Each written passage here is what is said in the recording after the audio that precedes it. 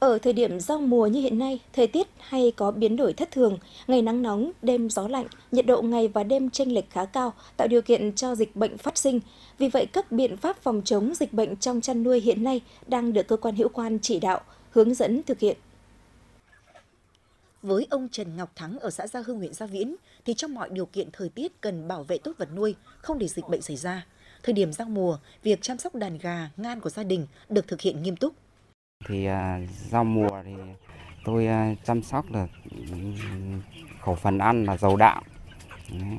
Vì à, nhà tôi là, đạm đạm cá là tự chế từ ủ từ cá ra rồi là khô đậu tương. Đấy.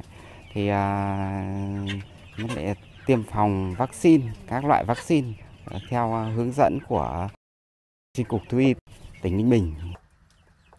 Theo phân tích của Tri Cục Chăn nuôi và Thú y, nhiệt độ thay đổi đột ngột, nắng nóng ban ngày, lạnh ban đêm, làm cho gia súc gia cầm không kịp thích nghi, sức đề kháng giảm.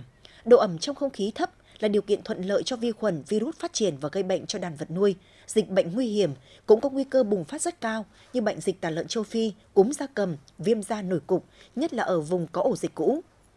Hiện tại Tri Cục đã phân công cán bộ thú y cơ sở thường xuyên trực, giám sát, nắm bắt và phát hiện dịch bệnh, báo cáo kịp thời để có các biện pháp bao vây dập dịch ngay từ ban đầu, dự phòng đầy đủ vật tư hóa chất, dụng cụ để xử lý khi có dịch xảy ra. Đồng thời tích cực bám sát địa bàn hướng dẫn bà con triển khai đồng bộ các biện pháp chăm sóc con vật nuôi, xử lý tình huống phát sinh.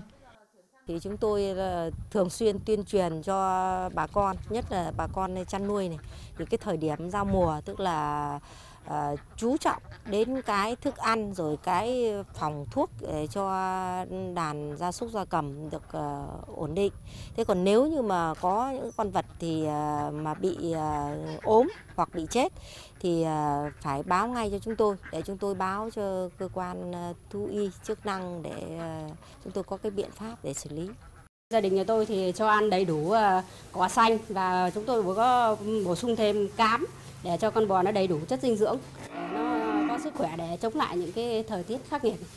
Ngoài công tác tiêm phòng, công tác vệ sinh tiêu độc khử trùng được các địa phương triển khai thực hiện thường xuyên nhằm không để phát sinh lây bệnh, trong đó chú trọng tới các ổ dịch cũ, phun hóa chất, vôi bột định kỳ, quét dọn thường xuyên, tránh bùng phát trở lại.